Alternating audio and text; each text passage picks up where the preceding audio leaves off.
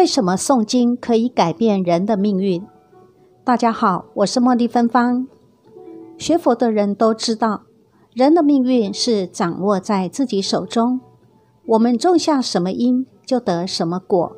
种善因得善果，种恶因得恶果。因果从未欺骗过众生，为人自欺，无视因果，到头来果报还是要自己承受的。我们常听到业因和业果这两个名词，而业又是我们的身口意所造作出来的。当产生结果的时候，就是业果。为什么诵经、拜忏、礼佛等等会改变我们的命运呢？是我们把不好的东西交给佛菩萨去处理，然后佛菩萨改变我们的命运了吗？当然不是。佛教是教育。这个教育的根本目的是要我们离苦得乐。所谓离苦，是指远离烦恼，出离轮回；所谓得乐，是指不起烦恼，获得就近的快乐。学佛的过程，就是认识烦恼的过程。烦恼的根源在于心，当心随境转时，烦恼随之产生。而心怎么会跟随外境而转呢？习气在作怪。这个习气就是深藏我们内心的五个小偷：贪、嗔、痴、慢、疑，也被称为五种心毒。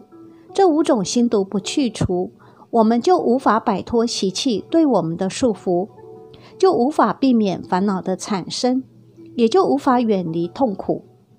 所以，佛教的一切教育手段，说白了，就是要改变我们的心，改变我们的习气。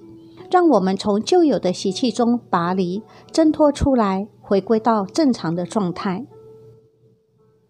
佛法不是魔法，不是你今天念了一部什么经，今天坏事就走了，好事就来了。如果有这种想法，那也是一种妄念。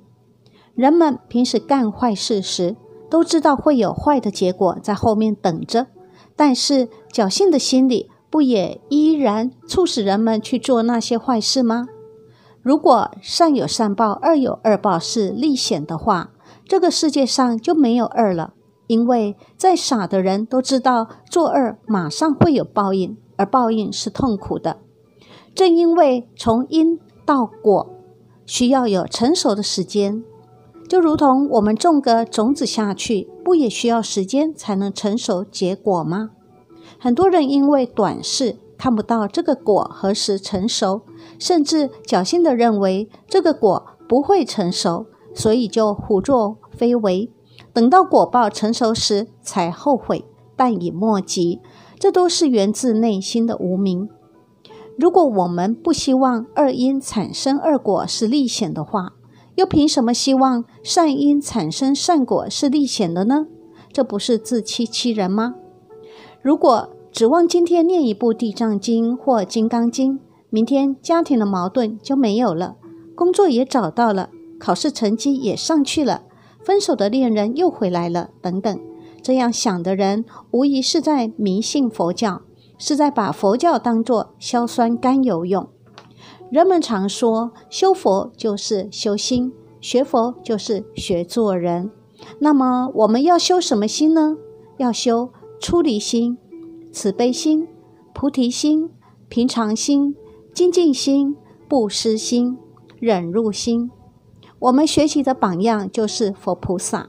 佛菩萨怎么做，我们就跟随他们怎么做，这样才能最终成就完美的人格，才能真正改变自己的命运。如果我们在做功课时，心还在外面飞着，或做完了功课，对身边的人。众生做事的态度，一切照旧，甚至还有更坏的情况出现，就是旧有的习气不但没有消除，又增加了一些不好的习气，把我执修得更好了。那么，请想想，这能改变我们的心及命运吗？所以学佛一定要持戒，不持戒，你的桶是漏的，可能漏掉的福报比积的福报更快。不要一边修福一边造业，也就是一边漏，这样改变不会大的。经常要检视自己的心，每一个起心动念，包括一切语言行为，有没有六度波罗蜜在里面呢？念经行善的发心或动机是为什么呢？是不是想得到什么，想攀比什么等？检视自己的心，就是修行禅定。真正升起利益众生的心，就是在修行布施。发觉自己不好的念头，当下忏悔，就是在持戒。忏悔之后，发愿一定要改正自己的恶习，这就是在修忍辱。当你每一次去这样做的时候，就是一次精进。每一次精进，就是在提高自己的智慧，这就是修智慧波罗蜜了。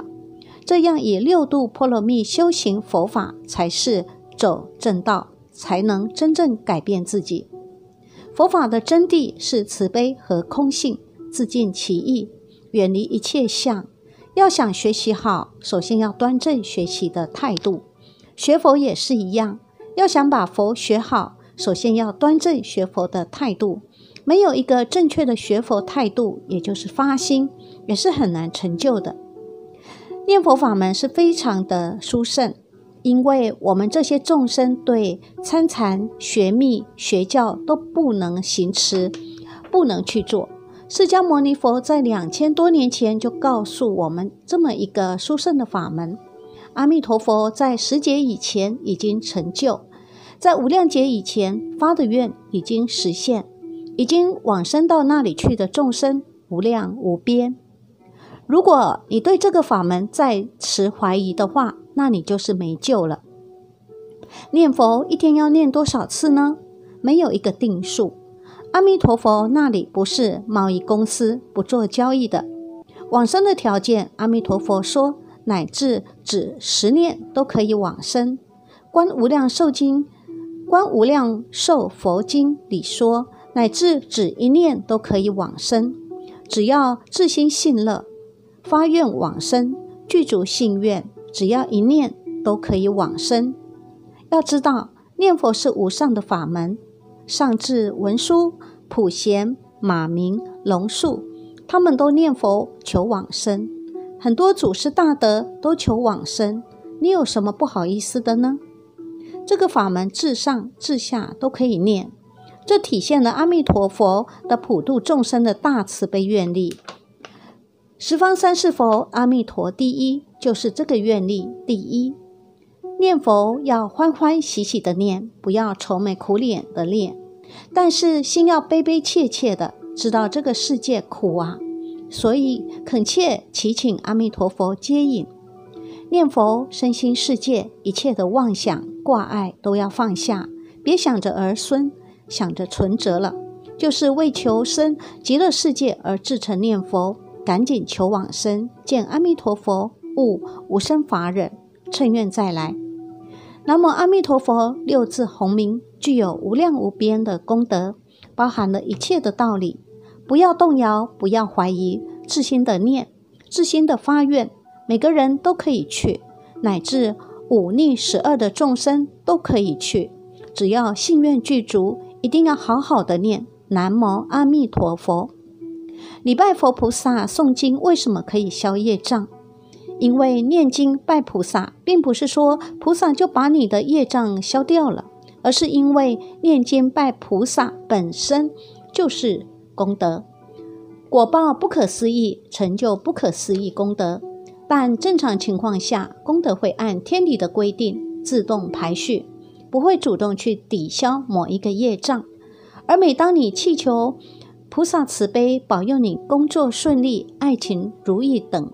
菩萨可以动用神通、慈悲，用你的功德去抵消那一个特定的阻碍你事业或爱情的障碍，从而使你变得顺利。你的功德和菩萨的慈悲神通缺一不可，但基础还是你自己的功德。一份善果去一份业障。如果有人只是拼命祈求菩萨，而不做功德、不念经，那么菩萨也没有办法帮你，因为你未积存功德筹码。若业障深、功德浅，那么我们的所求同样不会成功如愿。